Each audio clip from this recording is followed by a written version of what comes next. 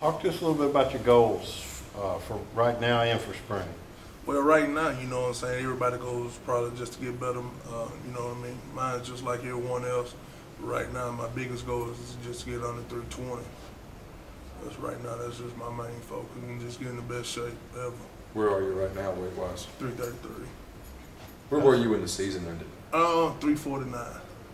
I kept bouncing, kept balancing out from like 345, 344, some day on a bad day, 348. So I remember getting on the scale, you know, at the, after the Cotton Bowl when I came back for intercession, it was 349. So What kind of difference is that going to make for you, do you think?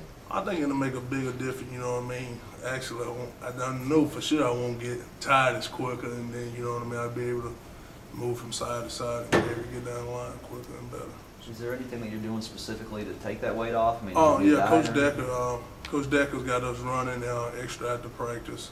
Um, on Mondays and Wednesdays and Friday, we have to run, uh, twenty-five minutes on the lift course, uh, every day. And, uh, on Tuesday and Thursday, they make us do twenty-five minutes and then have to run, um, nine laps, nine sprints, so it's a little extra involved.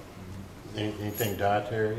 Well, yeah, I'm watching what I eat, you know what I'm saying, cutting back, you know, no fried foods, just watching everything I eat, so that's done help out a lot. You always watch what you eat. Well, if you could get down to an ideal weight, I mean, just magically get there, what, what weight would that be? About three fifteen, three fifteen, get the going back to showing. So, Is that kind of the goal for the season? yeah, three fifteen and below, if it get, if it get under three fifteen, I'll take I think I'm comfortable at three fifteen. I can, I think I could play at 330, 325, but, you know, I also was rocked up when I was that, when I was that side the first time, but, you know, I done got bigger, so I think I need to get it down to about 320, 315. When you look back on last year, after all the time spent waiting to play, evaluate your, your first season of college ball. I think I think it could have been better, but I think I got more comfortable towards the end of the season. You know what I mean?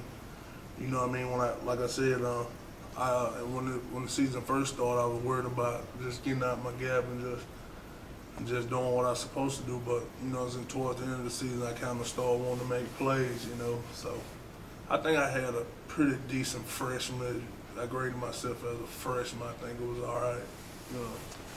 Uh, I think I did some things well as far as just staying in my gap when I got out there. I kind of lost my gap a couple of times, but for the most part, I did pretty good Now- to me.